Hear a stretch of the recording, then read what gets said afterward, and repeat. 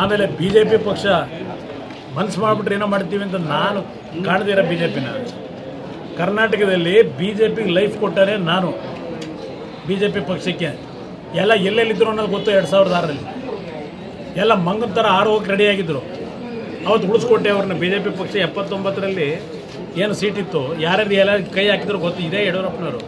ನನ್ನ ಹತ್ರ ಬಂದು ಅರ್ಜಿ ಹಾಕೊಂಬಂದವರು ಒಂದು ಮಂತ್ರಿ ಮಾಡಿ ಬರ್ತೀನಿ, ರಾಜೀನಾಮೆ ಕೊಟ್ಟು ಬಿ ಜೆ ಪಿಗೆ ಅಂತೇಳಿ ನನ್ನ ಬಗ್ಗೆ ಲಘುವ ಮಂತ್ರಿ ಆಗಿದೆಯಾ ಆ ಜವಾಬ್ದಾರಿತ್ವಾಗಿ ನಡ್ಕೊಳ್ಳೋದು ಕಲ್ತ್ಗ.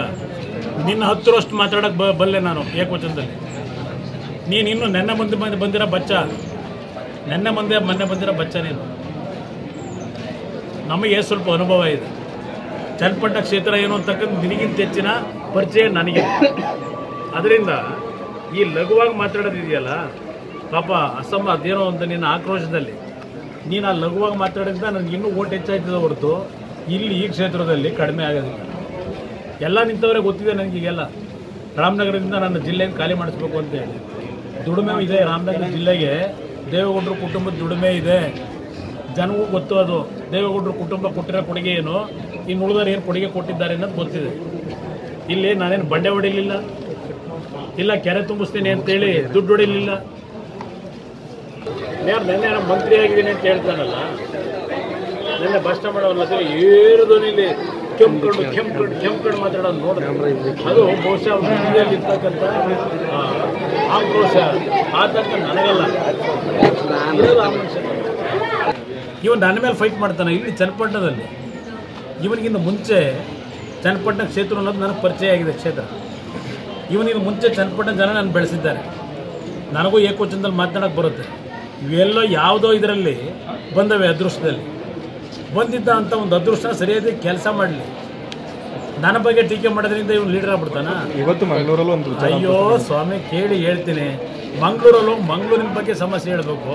ಚನ್ನಪಟ್ಟಣ ಸಮಸ್ಯೆ ಅಲ್ಲ ಹೇಳೋದು ಚನ್ನಪಟ್ಟಣ ಸಮಸ್ಯೆ. ನಾನು ಕೇಳ್ತಕ್ಕಂಥದ್ದು ಮಂಗಳೂರು ವಿಷಯ ಚರ್ಚೆ ಮಾಡಲಿ. ಮಂಗಳೂರಿನಲ್ಲಿ ಟೂರಿಸಮ್ ಹ್ಯಾಂಗೆ ಮಾಡ್ತೀನಿ ಅಂತೇಳಿ ಅಲ್ಲಿ ಪ್ರೆಸ್ಸರ್ ಮುಂದೆ ಹೇಳಿ. ಅಲ್ಲೋಗು ಚನ್ನಪಟ್ಟಣನೇ ಭಜನೆ ಮಾಡ್ತಿರೋದು ಇದೆಯಲ್ಲ? ಆ ಮನುಷ್ಯನಿಗೆ ಏನಾಗಿದೆ? ಚನ್ನಪಟ್ಟಣ ಕೈ ಬಿಟ್ಟು ಹೋಗಿದೆ. ಜನ ನನ್ನ ದೂರ ಇಟ್ಟಿದ್ದಾರೆ.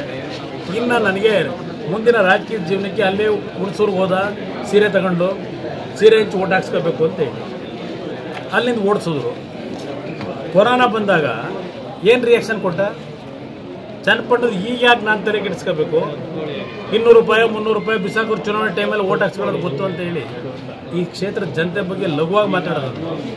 ಚನ್ನಪಟ್ಟಣದಲ್ಲಿ ಕೊರೋನಾ ಬಂದಾಗ ಪ್ರತಿ ಮನೆ ಮನೆಗೆ ಹಂ- ಅಕ್ಕಿ ಹಂಚಿದ್ರು ನನ್ನ ಕಾರ್ಯಕರ್ತರು. ಪ್ರತಿ ಮನೆ ಮನೆಗೆ ಚನ್ನಪಟ್ಟಣದ ಜನ ನಾವು ಎಂದೂ ಮರ್ತಿಲ್ಲ. ಈಗ ನೆನ್ನೆ ಮೊನ್ನೆ ನೋಡ್ತಾ ಇರೋ ಗಿರಾಕಿ ಇವರು. ಅದು ಸ್ವಲ್ಪ ನನ್ನ ಕಾರ್ಯಕರ್ತರ ಭಿನ್ನಾಭಿಪ್ರಾಯದಿಂದ ನಾಲ್ಕು ಟರ್ಮ್ ಗೆದ್ದ ಇಲ್ಲಿ. ಗೆದ್ದಿದ್ದು. ಯೂನಿಯನ್ ಸ್ವಂತ ಶಕ್ತಿ ಮೇಲೆ ಗೆದ್ದ? ಚನ್ನಪಟ್ಟಣ ಉದ್ಧಾರ ಮಾಡಿದ್ದೀನಿ ಅಂತೇಳಿ. ಏನು ಭಗೀರಥ ಅಂತೇಳಿ ಬೋರ್ಡ್ ಹಾಕ್ಸ್ಕೊಂಡಿದ್ದೆ, ಹಾಕ್ಸ್ಕೊಂಡಿದ್ದು. ದೇವೇಗೌಡರು ಇಗ್ಲೂರು ಡ್ಯಾಮ್ ಕಟ್ಟಿದ್ದಕ್ಕೆ ಅಲ್ಲಿಗೆ ನೀರು ಬಂತು. ದೇವೇಗೌಡರು ಇಗ್ಲೂರು ಡ್ಯಾಮ್ ಕಟ್ಟಬೇಕಾದ್ರೆ ಹುಟ್ಟಿದ್ದ ಇಲ್ಲೋ ಗೊತ್ತಿಲ್ಲ ಇವನು. ಇವನು ಭಗೀರಥ, ಇವನು ನೀರಾವರಿ ತಜ್ಞ, ಅದೆಂಥದ್ದು. ಈಗ ಇಲಾಖೆ ಪರಿಸರ, ಜೀವಶಾಸ್ತ್ರ, ಅದೆಂಥದ್ದು ಇದು ಭಾಳ ಮಹತ್ವವಾದಂಥ ಮಹತ್ವವಾದಂಥ ಇಲಾಖೆ. ಮಹತ್ವವಾದಂಥ ಇಲಾಖೆ ಇಟ್ಕೊಂಡವನಂತೆ. ಮೊದಲು ರಾಜ್ಯ ನೋಡಪ್ಪ ಚನ್ನಪಟ್ಟಣ ನೋಡೋಕೆ ಜನ ನನಗೆ ಐದು ವರ್ಷ ನೋಡ್ಕಪ್ಪ ಅಂತ ನನ್ಗೆ ಬಿಟ್ಟವ್ರೆ.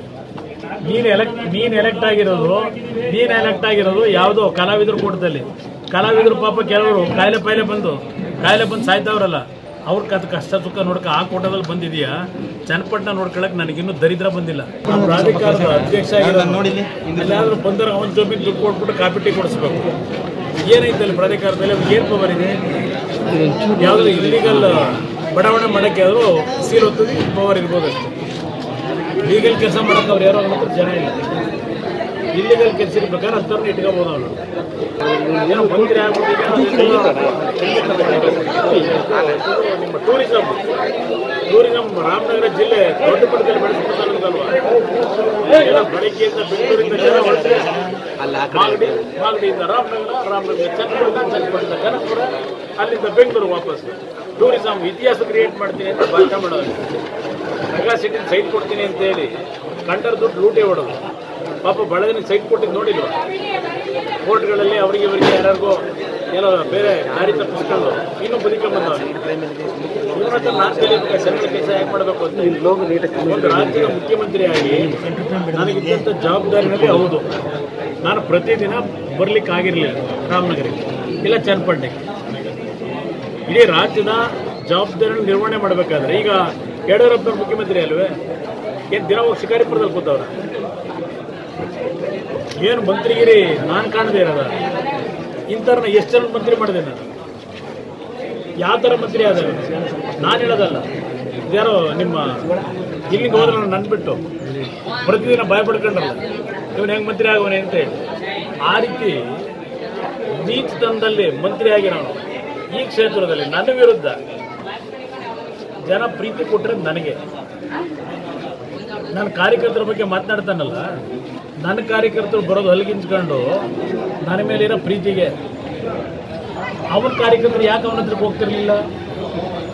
ನನಗಿಲ್ಲಿ ಬಂದಾಗ ಚನ್ನಪಟ್ಟಣದಲ್ಲಿ ನನಗೆ ಬಂದಂಥ ಮಾಹಿತಿಗಳು ಯಾರಾದರೂ ಒಬ್ಬರು ಬದುಕ್ತಾರೆ ಅಂದರೆ ಆ ಬದುಕವನ್ನ ಅವನು ಏನಾದರೂ ಕಣ್ಣಿಗೆ ಕಂಡ್ರೆ ಅವನ್ನ ಹೆಂಗ್ ಅವನ ಬದುಕನ್ನು ಮೂರಾಬಟ್ಟೆ ಮಾಡಿ ಅವನ ಆಸ್ತಿ ಹೆಂಗ್ ಲಪಟಾಯಿಸಬೇಕು ಅಂತೇಳಿ ಜನಪ್ರತಿನಿಧಿ ಕೆಲಸ ಮಾಡ್ಕೊಂಡ್ ಬಂದಿರೋ ನೀವು.